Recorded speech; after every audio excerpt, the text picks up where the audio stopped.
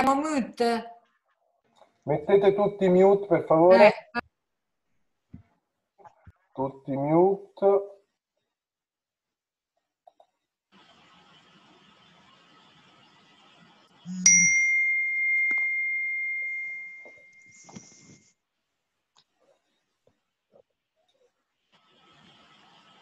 Io muto il mio telefono.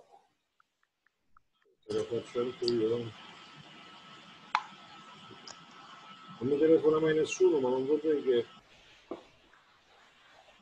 Allora, fammi controllare se tutti siete in mute. Mi sembra proprio di sì. Non è nessuno in arrivo, quindi possiamo cominciare. Faccio la prima domanda a Luigi. Luigi, in tutti i tuoi romanzi storici pubblicati con la lepre, si parla di un mondo che finisce e di un altro che sta nascendo. Insomma, tu scegli ogni volta come sfondo delle tue narrazioni periodi di transizione. Così, nella pazzia di Dio c'è la fine della magia del mondo contadino e l'avvento della civiltà industriale. Come faccio entrare un'altra persona? L'avvento della civiltà industriale in Italia e, una- e- e anche l'avvento di una nuova e tracotante arroganza e volgarità. Nel mantello di porpora c'è il passaggio dal mondo pagano a quello cristiano. Il notturno bizantino c'è la caduta di Costantinopoli e la fine di una civiltà, ma anche il rinascimento che eh, è, è con- la- una delle concause del rinascimento sono i profughi della caduta di Bisanzio. Con la lepre abbiamo scelto questi tuoi romanzi proprio perché quelle vicende, che in alcuni casi sono molto lontane nel tempo, possono farci comprendere meglio l'epoca in cui viviamo. Come prima domanda ti chiederei di parlare di questi tre romanzi e di come ciò che essi narrano potrebbe rendere più comprensibile quello che accade oggi. Intanto diciamo una cosa, che eh, avvicinati col microfono, eh, che se no non ti si sente bene. i miei romanzi hanno qualcosa in comune certamente. Intanto, come dicevamo prima, ricomincia da capo e mm, fai una dizione più, perché sennò non viene registrata la voce. E vedo sì, io sono attaccato. Allora, i miei, i miei romanzi hanno alcune caratteristiche in comune. La prima è quella di evitare i cliché, come dicevamo prima. E io non, non so, non so chi ci ascolta, ma insomma non ne posso più di poliziotti che vedono i morti o che parlano con la moglie morta. Ehm, o che vivono in, posti da cartolina, eh, perché è un modo per renderli umani, umani a, a davvero poco prezzo. La seconda cosa è rispettare le regole narrative senza inventare cose strane. Ridurre la scrittura all'osso, come diceva Schopenhauer, come ho scoperto recentemente, sto leggendo un libro sul Tao, le parole, una cosa bellissima, le parole vere non sono elaborate e le parole elaborate non sono vere. Mi pare, mi pare una, un- una cosa da seguire sempre. E, e poi c'è l'ambizione di fondo di costruire attraverso i miei romanzi una specie di storia alternativa a quella. Su queste tre cose io ho cercato di costruire i miei romanzi. Aggiungo una cosa, ci sono scrittori che scrivono sempre della stessa epoca, e perché conoscono quella, la conoscono bene per varie ragioni e eh, non, eh, non si muovono da lì. Io invece non scrivo di ciò che so, ma di ciò che voglio imparare, cioè ho un metodo di ricerca, lascio andare la curiosità e, e- e quindi le epoche diverse mi, mi attraggono, mi, mi- mi- danno qualcosa che se scrivessi sempre della stessa epoca, degli stessi anni, mi annoierei troppo. Allora, eh, la pazzia di Dia, intanto eh, diciamo questo, la bussola che io ho è, è una bussola di tipo antropologico. Eh, cercando di costruire personaggi credibili significa eh, studiare il pensiero dell'epoca, studiare il modo di vivere dell'epoca, l'abbigliamento, il cibo, le tecniche militari, la religione, l'arte, eccetera. In questo mi aiuta il fatto che ho fatto degli studi molto irregolari. Ho studiato medicina, ho studiato scienze politiche, ho studiato arte e quindi tutto insieme questo io lo tengo attraverso i miei romanzi. Eh, perché i momenti di cambiamento? Perché certe dinamiche sono eh, più evidenti nei momenti di cambiamento. Allora vado a ritroso, dalla pazzia di Dio, che è quello che parla della prima guerra mondiale, eh, torniamo indietro. Dietro la pazzia di Dio c'è la immigrazione di inizio Novecento verso, verso le Americhe, eh, c'è l'Africa vissuta come mito quando eh, ormai le altre nazioni eh, ormai erano in pieno colonialismo. E, e poi c'è eh, è un romanzo di formazione. Un romanzo di formazione in un periodo che cambia. Quindi questa persona si deve formare Andrea si deve formare deve crescere ma nel frattempo tutto attorno a lui muta eh, il romanzo va dal 1895 in cui eh, nasce eh, Andrea alla marcia su Roma. Si ferma lì. E ci sono personaggi che ehm, seguono dal primo amore di Andrea, che è Rosa, alla scoperta e il rapporto col padre, alla guerra e così via. Notturno bizantino, che parte invece dalla, dalla caduta dell'impero di Costantinopoli, ha come sfondo una città assediata e una famiglia nella bufera. Se noi pensiamo a quante persone stanno in questa situazione, che ne so io, in Siria, nel Medio Oriente in generale, eh, capiamo che c'è una forma di attualità, perché poi alla fine le guerre creano sempre le stesse sofferenze. C'è un personaggio un po' patetico, un po' da, da, da tragedia, che è l'imperatore, l'ultimo imperatore, che è anche un imperatore consapevole, sta combattendo la sua ultima battaglia, ma lo fa con onore, eh, resta al suo posto fino a morire, sullo sfondo e c'è un avventuriero che sembra uscito da un romanzo di Dumas, che è Giustiniani, che eh, organizza, che organizza, ma io non vedo niente qui, eh? voi vedete? Eh, che organizza mh, mm, la, la, la, resistenza, c'è un'Europa che, eh, c'è un'Europa che eh, è chiusa ai propri interessi esattamente come oggi, c'è un sultano tracotante il quale ha l'unico problema di eh, voler emulare e superare il padre. Sullo sfondo c'è il neoplatonismo, ci sono i libri, c'è il sapere che passa dall'Oriente all'Occidente, grazie a questa caduta di questa città, e, e c'è la tecnologia, cioè la tecnologia di guerra, perché in fondo Costantinopoli cade perché eh, ci sono i nuovi, i nuovi cannoni che fanno cadere mura che da mille anni erano lì e non facevano passare il Quindi ancora una volta un ordine che subentra all'AIDA. Nel mantello di porpora, che è ancora più antico, eh, si racconta di Giuliano L'Apostata, di quello il suo tentativo disperato di fare in modo che torni il paganesimo anche qui in fondo c'è il neoplatonismo, un tentativo fallito, perché la domanda che mi ero posta all'inizio era ma può un uomo cambiare la storia? Non può perché le variabili sono moltissime. Dietro tutto questo, ma non soltanto dietro la storia di Giuliano, perché credo che arriviamo almeno fino a Napoleone, c'è il, um, il mito di Alessandro Magno l'emulazione di questo grande condottiero che in poco tempo costruisce un impero e, e, e un tarlo che, eh, che, che, ha preso molti, ha preso molti e comunque ha preso molto anche Giuliano. E sullo sfondo c'è anche un'altra cosa, la brutalità del primo cristianesimo, cosa di cui parlano pochissimi, e che somiglia molto a quella che è stata fatta, che, che oggi viviamo con l'ISIS.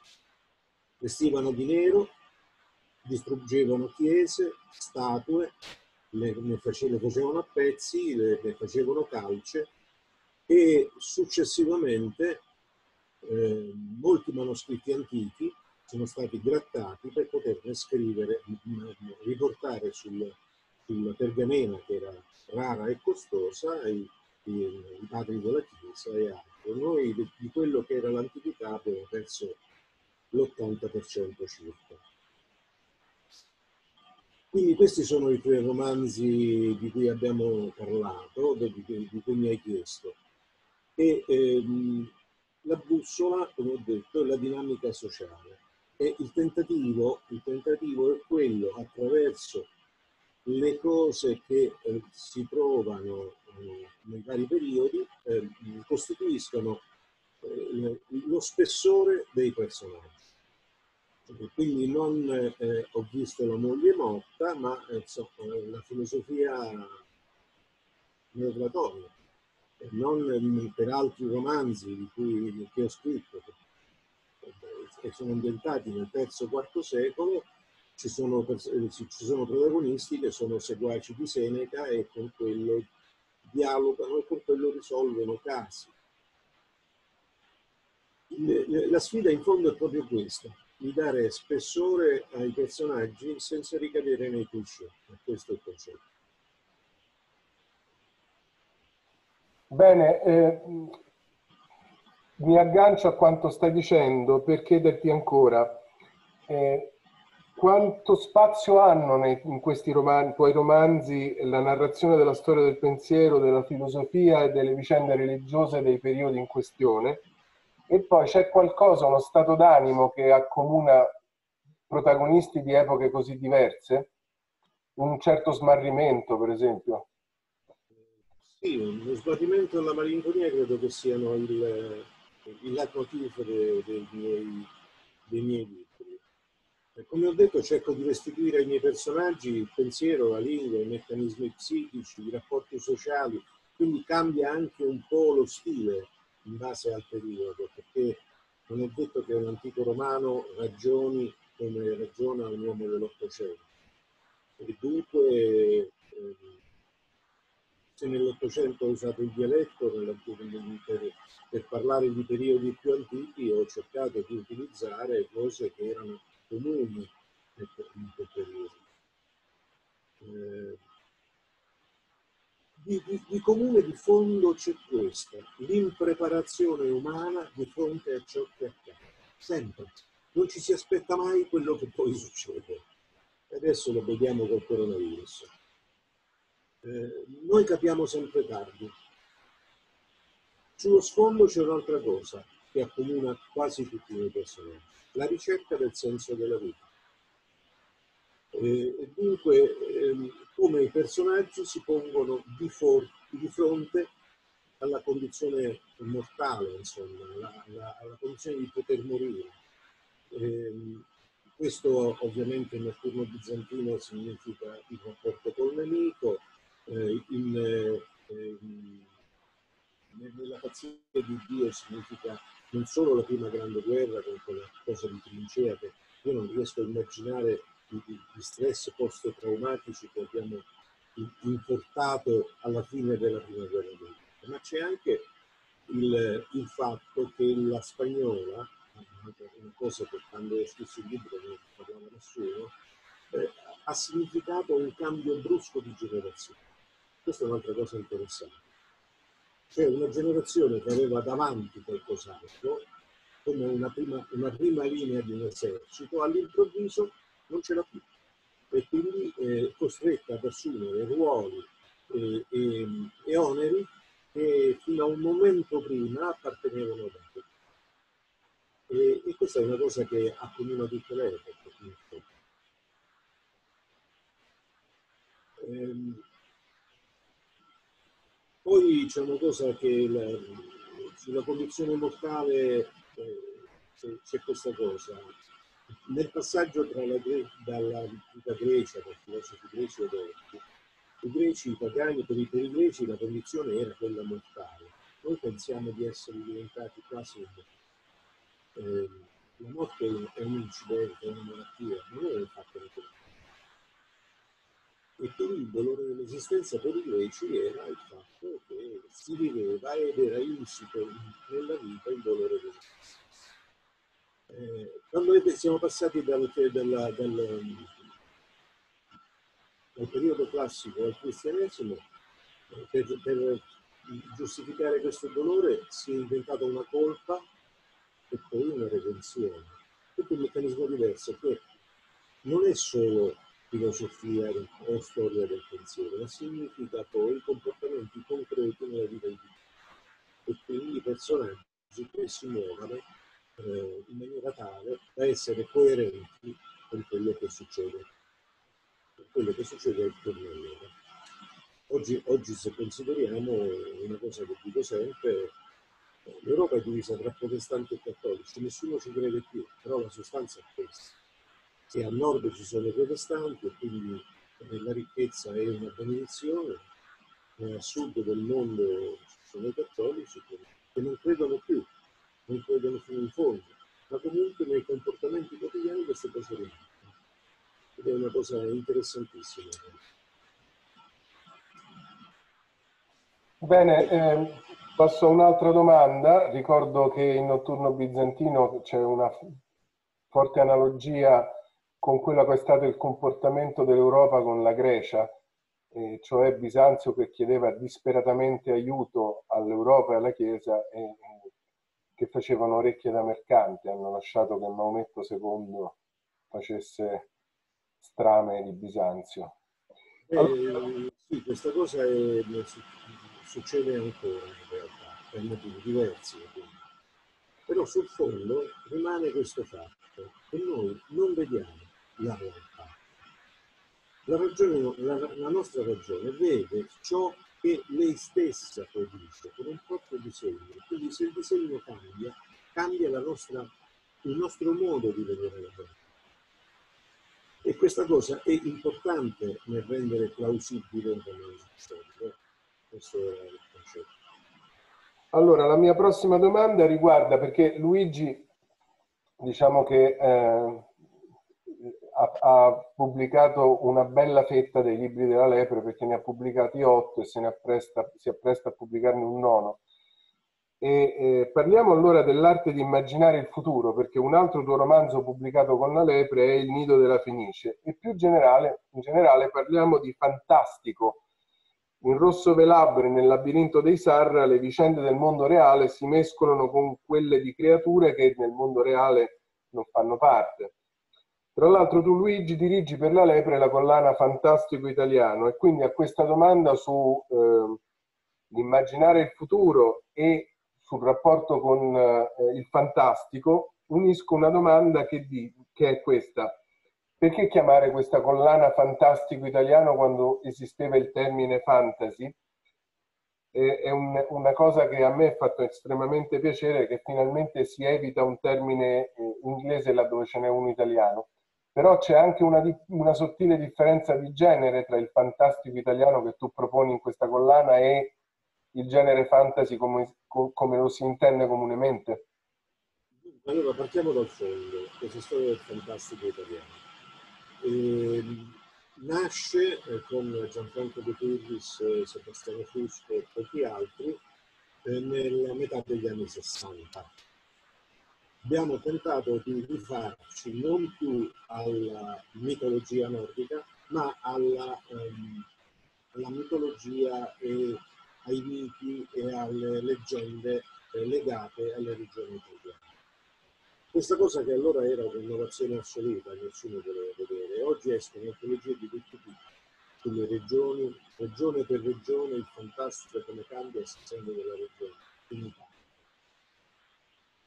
Il problema è questo, che immaginare il futuro è la cosa più complicata che esista. Il romanzo storico è molto facile, perché immaginare il futuro eh, significa mettere assieme tante di quelle variabili, di quelle sfaccettature che ce ne sono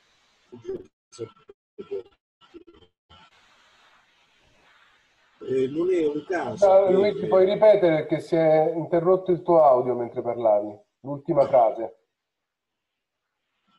Dicevo che le sfaccettature e le variabili sociali sono troppe per immaginare un futuro credibile e quindi il, molti romanzi che hanno intrapreso questa strada eh, in realtà non hanno indovinato quasi nulla di quello che sarebbe accaduto.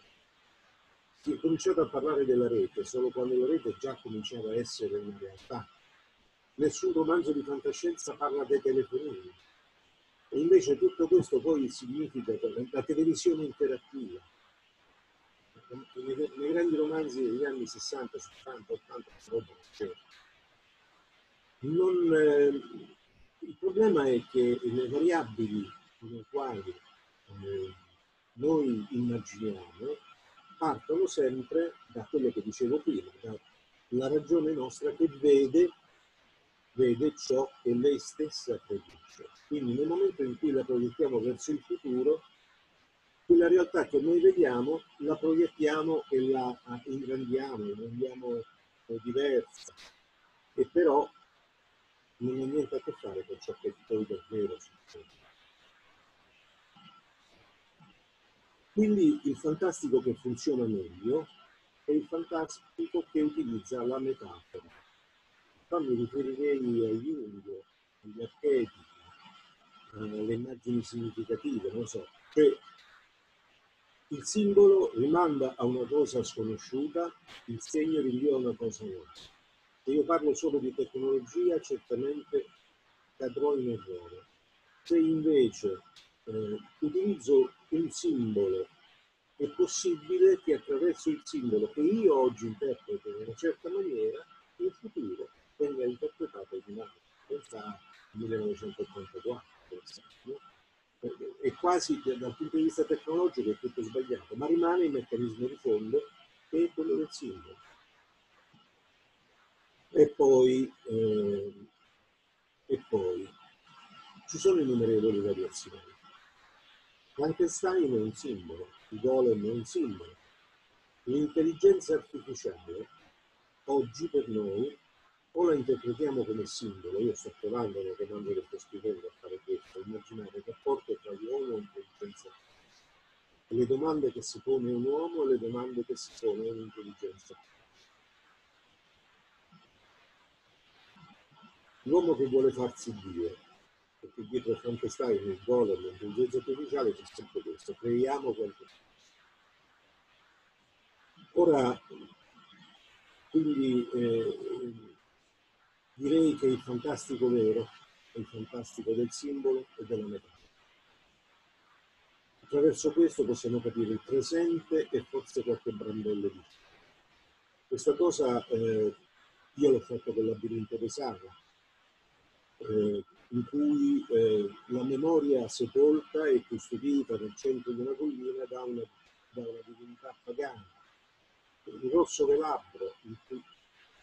mi senti? Porca miseria. Oppure mi sta più vicino di così, non riesco a stare. Hai, hai detto a un certo punto la memoria è custodita quando abbassi la faccia non si sente più niente, quindi devi cercare di tenere il mento alto. Non so dove ci hai piazzato il microfono, ma se piazzato su, la faccia, non... telecamera. Eh. Eh, ma adesso non, non, non so come, come raccontartela questa cosa perché non so dove non si sentiva più. Eh, è mancato soltanto che la memoria era custodita e poi non si è sentito la conseguente della frase. La memoria... Ah, stavamo parlando quindi del labirinto di Sarra. La memoria è custodita da una divinità all'interno di una collina. Eh, la divinità è una metafora della memoria, in realtà, e, eh, e mm, in quanto tale funziona di più.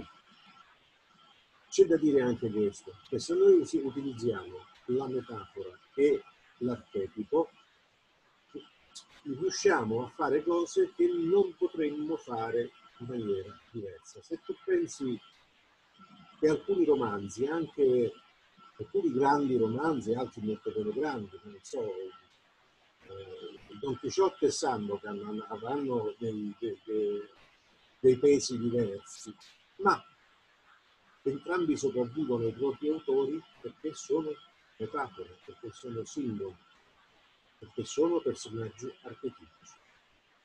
Quindi eh, c'è, una, c'è una, una, grande possibilità in questo, sia di costruire eh, immagini del futuro, sia di raccontare il passato, sia che di raccontare il passato in maniera più complessa ed più adatta ad essere compresa da persone di epoche diverse. Diciamo che il romanzo poi storico invecchia molto meno del romanzo di fantascienza, ma non del romanzo fantastico come l'ho appena indicato io.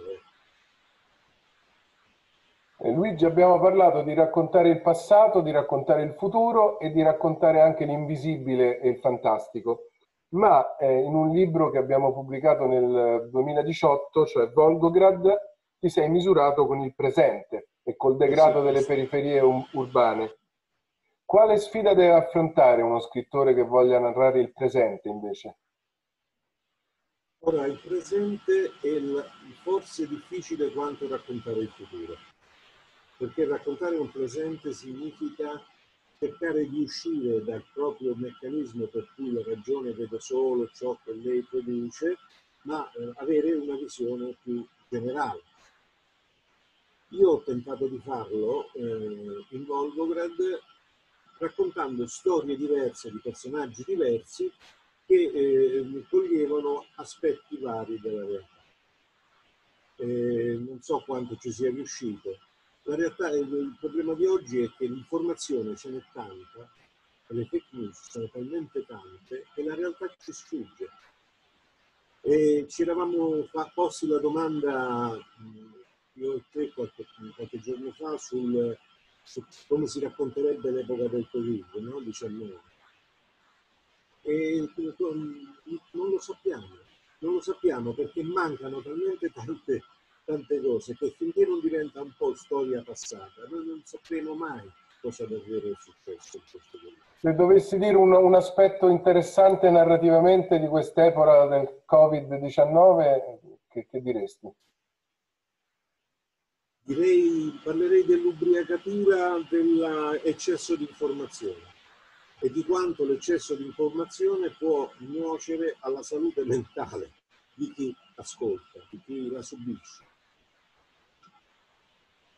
Allora, prima di dare la parola um, a, a, alle persone presenti, poi spiegherò come fare per fare le domande a Luigi, e, e in modo tale che io le, dia l'audio alla persona che fa la domanda. Un'ultima cosa, ci vuoi dare qualche breve anticipazione di quello che uscirà con la nostra casa editrice e se vuoi anche con altre case editrici, dato che sei, sei qua, anche con altri editori? E con eh, noi, noi della Prima Lepre abbiamo immaginato una trilogia degli assedi che era, partiva da eh, la caduta di Bisanzio e eh, Notturno bizantino l'assedio di Bisanzio. E poi, eh, poi l'assedio di Otranto? Di Otranto e probabilmente se, se, tu sarai d'accordo si concluderebbe la trilogia ehm, con quel romanzo che mi è uscito in, con, con, con uno pseudonimo che parlava della eh, nel 1527 per la presa dell'Anzichenetti a Roma. Il sacco di Roma. Il sacco di Roma. Quindi sarebbero tre romanzi, che la trilogia degli assedi mi pare anche una bella, una, un bel titolo per una trilogia. E, e poi come prossima uscita invece abbiamo Il Signore delle Furie, eh, delle furie Danzanti. Signore delle Furie Danzanti, che è la, noi abbiamo già pubblicato con Rosso Velabro una prima indagine di questo investigatore del IV secolo d.C., che sono gialli che si svolgono in quella Roma, che si chiama Caio Celso. Questo è un, un altro racconto il cui protagonista è Caio Celso, no? Sì, questo è un altro racconto il cui protagonista è Caio Celso, questa volta Caio Celso si eh, confronta con eh, realtà diverse, quindi con un impero sempre più un po' salvato e così via. E, è stato ovviamente rivisto, rivisitato, rimesso a posto in modo tale che non fosse la riedizione di un libro precedente, ma che eh, succedesse qualcosa di nuovo. Eh, devo dirti che questa cosa io, come tu sai, te l'ho riproposta anche perché ho avuto molte attraverso Facebook, molti amici mi hanno chiesto ma quando esce di nuovo una cosa di? Ecco. Allora, rimettere a posto questa roba di Caio Censo e, e scrivere il terzo che ho in un racconto lungo da 64 pagine già pronto, potrebbe diventare un racconto lungo, un romanzo mi pare anche una bella cosa. E poi ci sarà un libro che esce solo in ebook. Ce ne vuoi parlare così poi diamo... Esce solo in ebook, speriamo non solo in ebook, però insomma.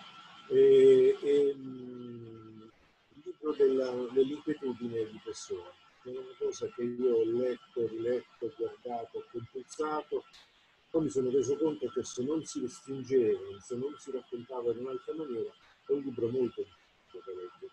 Allora, per, per aiutare qualcuno ad, ad, avvicinarsi a questo testo davvero bello, eh, ho immaginato una storia a metà tra il fumetto e la il romanzo disegnato, è novel, come si dice. illustrato, in cui ci sono um, Pessoa e uno dei suoi personaggi che camminano per Lisbona e si raccontano le difficoltà dell'essere, del vivere e dell'essere scrittore.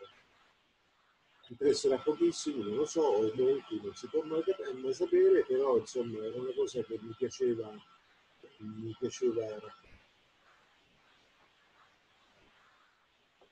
E la faremo. Eh, ci sono dei bellissimi disegni, tra l'altro fatti da Luigi, che, anche, che, è anche un pittore oltre che uno scrittore. Dunque, ehm, passiamo alle domande. Per fare le domande, in basso, se puntate il vostro mouse in basso sulla prima linea della, della, dello schermo, c'è scritto chat. Se cliccate su chat si apre uno spazio dove potete scrivere Basta che scriviate vorrei fare una domanda, poi io vi do l'audio e fate la domanda, così io posso stabilire un criterio di priorità e non sovrapporre le persone che vogliono fare una domanda a Luigi. Quindi aspetto che qualcuno si prenoti per fare una domanda e eh, nessuno per adesso, oppure anche un metodo più eh, rozzo ma efficace? Se nello schermo alzare la mano e fare così e io gli do la parola. Isabella ha detto la mano?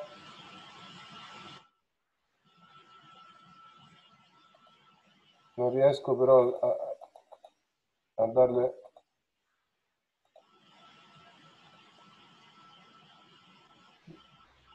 eh, Isabella Ecco. Okay. Allora Luigi, ciao di nuovo, buonasera a tutti. Ehm, leggendo La pazzia di Dio c'è una cosa che mi ha colpito molto. Quando Andrea capisce della sua propensione alla, al disegno, all'arte, e, ehm, lui a un certo punto dice che mh, capisce d'improvviso che a lui interessano delle cose che eh, non interessano a tutte le persone che gli stanno intorno. E dice, ehm, capì così che cosa significava la solitudine e eh, spesi tutta la vita eh, praticamente a, a, comprenderlo. L'altra cosa eh, in parallelo a questa che mi ha colpito è stata questa sensazione della corsa mh, alla guerra, che è uno specchio magico, dice, dice Luigi, in cui ognuno vede quello che desidera, quindi tutti si buttano in questa avventura, chi per una ragione, chi per l'altra. Ora la mia domanda si articola su questi due aspetti. Eh, vorrei sapere innanzitutto se era Andrea che parlava o se era anche un po' Luigi riguardo mh, questa eh, diciamo anima artistica che ti regala tanto e anche un po' di distacco da quello che è lo specchio magico più comune che hanno gli altri e che però eh, mentre ti regala eh, ti toglie anche eh, qualcosa perché eh, questa solitudine che si impara a, ad apprendere, insomma, fin da piccolini, quando ci si accorge che mentre gli altri corrono, magari c'è qualcuno che si ferma a guardare la goccia d'acqua su una foglia, volevo sapere se anche per te è stato così.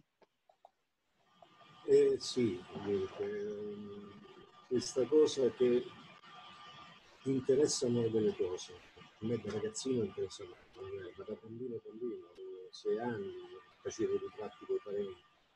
Questo mi teneva lontano da tutta una serie di cugini, io ne avevo 24. Era, era, era un'altra cosa. E, mh, questa cosa l'ho vista anche, non so, quando eh, per anni, per decenni ho lavorato in bar. Non sapevo di che parlare con i colleghi, perché eh, loro parlavano di calcio e basta, io non, non, avevo, non, avevo, gli strumenti, ero proprio fuori luogo. Quindi il concetto di arte, l'arte che porta solitudine ma regala altre cose, mi pare, mi pare una parte del mio vissuto, che sia una parte del mio vissuto. Per quanto riguarda la guerra, l'aspetto magico della vita, in realtà è, è quello che ti dicevo, che dicevo prima. Cioè noi vediamo, mica la vediamo la realtà, noi vediamo quello che pensiamo di vedere. E, e in ogni generazione, tu pensa per quanti migliaia di anni, l'estate non si andava al mare, si andava in guerra. Tutti partivano eh, quando ho studiato io le, le, i meccanismi dei lanzichenetti, ho scoperto che esisteva un meccanismo che si chiamava eh, sposa di maggio. Il, lanz, il lanzichenetto e la sua una compagna, si, eh, con una piccola cerimonia diventavano marito e moglie a maggio, perché a maggio si partiva all'avventura. Non sempre si tornava, poi si restava insieme se si era fatto un bottino sufficiente a passare l'inverno, se non ognuno tornava a casa sua. Eh, nella guerra che, che, si vede la possibilità della fortuna, di essere eroe, di essere in avventura, la, la si riempie di retorica e poi invece ci sono le fosse delle, delle, delle, delle trincee, c'è una guerra tantissima, soprattutto la prima guerra mondiale stai per anni a marcire in un buco. Come ne esci fuori? Ne esci fuori quando i carabinieri ti spingono da dietro, non ha niente a che fare con quello che immaginavi quando sei partito.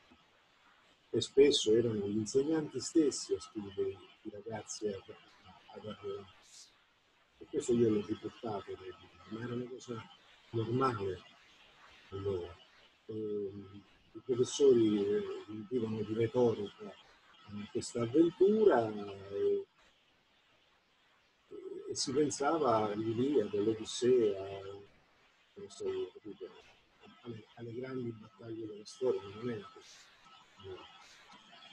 Quindi in quel caso era un specchio infatti lo dice, lo, dice, lo dice, il padre al figlio, no? ognuno vede quello che vuol vedere, ma Andrea in fondo parte per conservare l'affetto del padre perché il figlio naturale è partito volontario, quindi uno può, fare, non può essere da me. Quindi non è tanti motivi possibili. Eh, Giovanna, eh, cerco di ehm, darti la parola. Ecco, ci sono riuscito. Io, diciamo, volevo eh, legarmi semplicemente a questa dimensione che ha citato Luigi sul fatto dell'eccesso di informazione eh, la verità è che noi siamo di nuovo in un paese come era il paese dei Sarra, dove arriva una quantità di informazione, ma la maggior parte di noi non ha gli strumenti per interpretarla. E lì non arrivava niente, no? Cioè, la, non, non, sapevi dove andavi, non sapevi cosa andavi a fare nel momento in cui partivi eh, per la guerra o per l'Africa. E c'era, c'era quindi una dimensione eh, di stupore no? verso quello che saresti andato a fare. A noi invece ci, hanno, ci stanno procurando, mi sembra, una dimensione di eh, io so tutto, no? ci stanno levando lo stupore, ma ce lo levano perché noi non siamo in grado di interpretare quello che ci raccontano, per la maggior parte. Non siamo neanche in grado di controllarlo, Giovanna. Eh? Non ho capito. Eh? Non siamo neanche in grado di controllarlo, perché controllare tutte le informazioni che ci arrivano, sarebbe un lavoro quotidiano da 8-10 ore al giorno. Eh. Guarda, io l'ho fatto sui, sulla, sul lavoro, sui dati, sul Covid, io l'ho fatto per tutto il periodo della quarantena, proprio ce lo siamo messo come, come scopo, no? Di lavorare su questa cosa. Ed è vero, è un lavoro a tempo pieno ed è estremamente complicato. Però è anche un lavoro che in qualche modo possiamo in parte fare anche da soli, acquisendo degli strumenti interpretativi nuovi. Sì, ma la, rifacendomi alla domanda che mi aveva fatto Alessandro, dice, ma come la racconteresti la, questo momento? Io avrei grosse difficoltà perché non saprei bene eh, stare nella testa di un protagonista o di più personaggi eh, di fronte alla stessa notizia, diciamo, anche di fronte alla stessa notizia perché siamo molto tranciamo i nostri giudizi, prendiamo posizione facilmente, soprattutto quando, quando siamo um, su, su, Instagram, su, io, su Facebook e così via. Prendiamo posizione senza sapere bene che stiamo dicendo, però a quel punto ci formiamo una convinzione e il mondo si attorno a noi si trasforma secondo quella condizione e, e tendiamo a, a, a, a, cacciare tutto quello che non rientra in quel disegno iniziale. Eh, ma questo è l'esercizio, cioè cercare di non fare questo. Forse, non, forse, è più facile farlo da statistico che da, che da, che da scrittore. Eh, posso aggiungere una cosa? Mi sono imbattuto in una frase di quel grande scrittore che fu Mark Twain, che dice che nel tempo in cui la verità si allaccia alle scarpe, la bugia ha già fatto otto volte il giro della Terra. E questa situazione del Covid-19 è stato un po' il paradiso dei complottisti, cioè qualsiasi notizia falsa, però l'impatto emotivo ha enormi possibilità di entrare nel senso comune, mentre la, la, veri- la verità è difficile da, da capire qual è e anche da, da soppesare e da distinguere dalle numerose... In un paese di virologi come il nostro. Sandro, c'è anche da dire che mh, noi siamo, come possiamo dire, eh, sommersi quotidianamente da programmi televisivi, eh, non solo quindi da dalle cose che dicono le singole persone eh, in rete, ma in continuazione. E, spesso in contraddizione tra loro, non siamo in condizione di sapere cosa succede al di fuori della, della porta di casa. Questa è la verità.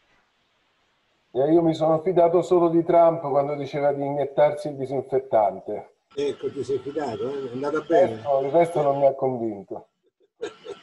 È andata bene.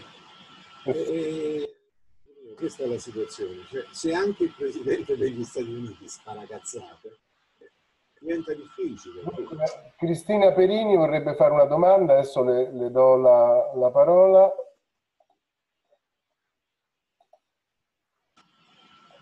Eh, non riesco. Ecco. Salve a tutti. No, vorrei, mm, io sono un po' una mediatrice tra voi scrittori, voi editori e lettori perché faccio la bibliotecaria e quindi indirizzo, sento insomma le curiosità dei, dei lettori e dove vogliono andare. E una delle prime richieste che mi sono state fatte quando è iniziata questa emergenza è di consigliare dei libri o comunque delle, delle voci che provenivano dalla letteratura che potessero e non so se più che informare Luigi, mh, mm, proprio dare una chiave interpretativa poetica e quindi narrativa a ciò che stavamo vivendo adesso. E quindi mi sono sentita eh, tra, due, tra, due, fuochi, tra un senso iniziale quasi di velleità no? rispetto alle emergenze forti che provenivano dalla società che aveva necessità di essere curata innanzitutto o comunque orientata con consigli pratici. Dall'altra parte però una forte richiesta di consolazione, detto tra virgolette, o comunque una richiesta di strumenti eh, che provenivano dall'arte, dalla scrittura nello specifico, che potessero aiutare i singoli a capire o ad accettare. E quindi mi auguro che invece voi scrittori, oggi ce ne sono tanti, non soltanto te, c'è l'editore Alessandro, eh, sappiate trovare quelle parole e quelle vie per aiutarci a, a, capire meglio questo presente che francamente sfugge, proprio il fatto che, che, sfugga penso renda ancora più inquieta la vita in questi momenti, probabilmente anche nel futuro. Sì, guarda, ehm, non, è, non, credo che sia possibile, cioè la, la, la, peste raccontata da Manzoni non è la stessa cosa di oggi. Perché? Perché oggi abbiamo eh, piano piano eh, costruito un mondo un po' falso nel quale noi siamo invincibili. Noi no, non siamo più immortali, la possibilità di morire non ci appartiene più. No, diventa, come posso dire, un incidente, ma non un fatto naturale. All'epoca di Manzoni era un fatto naturale che si morisse. Oggi non lo è più. Noi abbiamo scoperto con, con, con il Covid la nostra fragilità, che non, non se n'era mai allontanata stava sempre lì, ma noi abbiamo costruito tutto un mondo attorno in modo tale che ci sentissimo sicuri. Quindi cosa è successo questa volta? Che abbiamo perso ogni sicurezza, accanto a quello, eh, tutta una serie di cose che ci sembravano importantissime perché eravamo sicuri della base, eh, non sono più vere. Non so per quanto sarà questo, ma raccontarlo non sarà semplice. Raccontarlo non sarà semplice. C'è Devor che voleva fare una domanda. Eh, eh, aiutami. Ecco. Eccomi. Uh, buongiorno, buonasera a tutti. Dunque, una delle cose belle di questa situazione, qualcuna ce n'è, è che si stanno facendo più incontri di questo genere e ne stiamo facendo anche nel mio campo, che è quello della, della sceneggiatura del cinema. Una delle domande che ci siamo posti in uno di questi incontri è quali storie si racconteranno nel post o nel durante eh, quarantena. Però la, in realtà quello che molti di noi si chiedevano è ma quella sceneggiatura che ho scritto una settimana fa è ancora raccontabile? È ancora attuale? Eh, la posso vendere? Qualcuno me la pubblicherà? Quindi la domanda che farei eh, a, a, Luigi è questa. Ehm, delle storie su cui stai lavorando, delle storie che hai in testa, qualcuna è diventata di colpo improvvisamente eh, inscrivibile? Beh, tu, sai che io mi occupo molto del passato e del, pochissimo del presente, quindi in questo senso no, sono tutte scrivibili. Meno una, meno una. Avevo, um, stavo lavorando da anni, ma ogni tanto, lavoro ogni tanto, a un, a un giallo ambientato nella Roma di, di, oggi. Era la Roma, quando ho cominciato era la Roma di, del primo Salvini. Adesso non sarebbe più possibile raccontarlo alla stessa maniera, sicuramente. Devo, devo inventare altri meccanismi, devo inventare altre cose. Però per quanto riguarda il passato, no passato è stabile. Il problema del presente è che si muove con tale velocità che è possibile che la sceneggiatura che hai scritto una settimana fa oggi non serva più. Ma d'altra parte, voglio dire, non è che mh, devi per forza raccontare quello che succede in quel momento. Ripeto, il concetto della metafora è fondamentale. Tu le usi le metafore, perché hai un paio di sceneggiature in cui la metafora c'è, la metafora permette di superare queste cose e di rendere, continuare a tenere attuabili anche cose che cambiando lo scenario perdono di senso. Bene, se nessuno ha ancora domande da fare, eh, chiudiamo l'incontro. Non vedo eh, né mani alzate. Ci sono mani alzate? No non ci sono prenotazioni. Non si è alzato nessuno, stanno tutti sul divano. Guarda Giovanni. Eh, Leonora, aspetta che ti do la parola. Ecco. Allora, non è propriamente una domanda, è semplicemente, come dire, un, un abbraccio a Luigi, aspettiamo queste nuove cose e poi ci dirai il, la pila di documenti, mappe e quella di Notturno Bizantino era alta circa 1,80 m, la pila di libri e mappe, perché mi presi la curiosità di misurare. Hai avuto un sacco di pazienza. Con no, no, ho avuto un'esperienza meravigliosa e tra l'altro io l'ho presa come una coincidenza orientata junghiana, vista la mia storia di greca, con un cognome greca, greco del Dodecaneso che avevano tenuto appunto gli ottomani quattro secoli sulla groppa.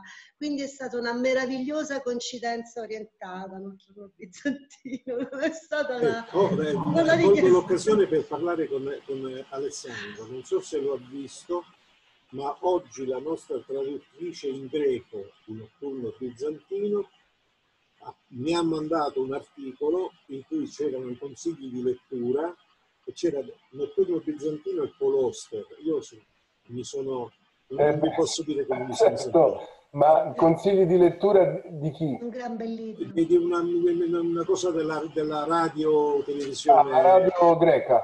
Sì.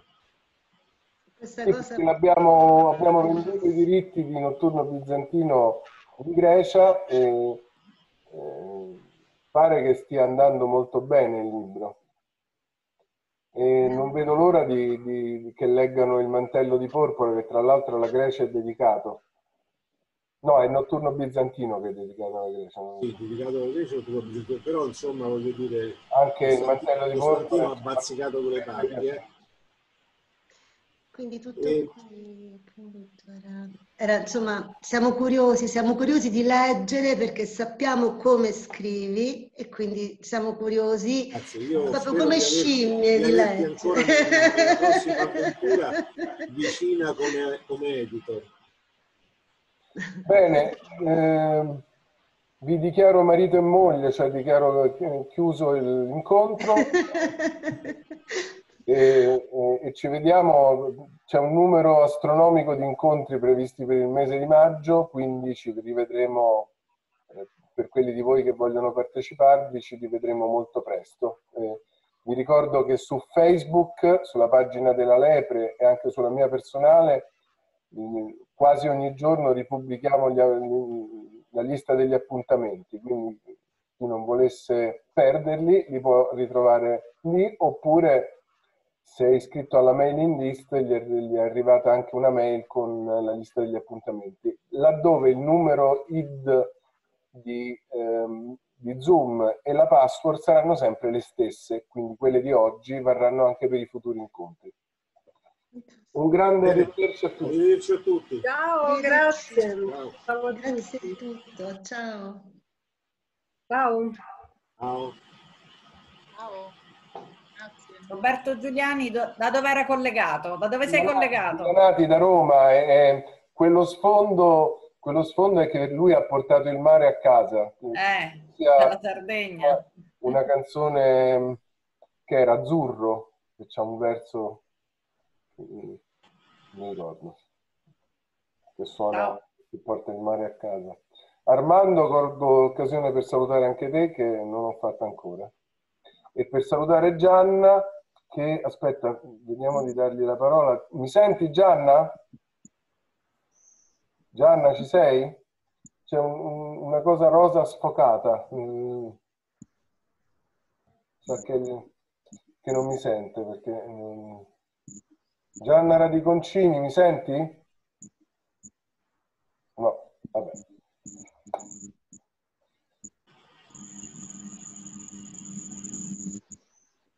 No, Gorgoglia. No. Va bene. Arrivederci. Arrivederci, ciao.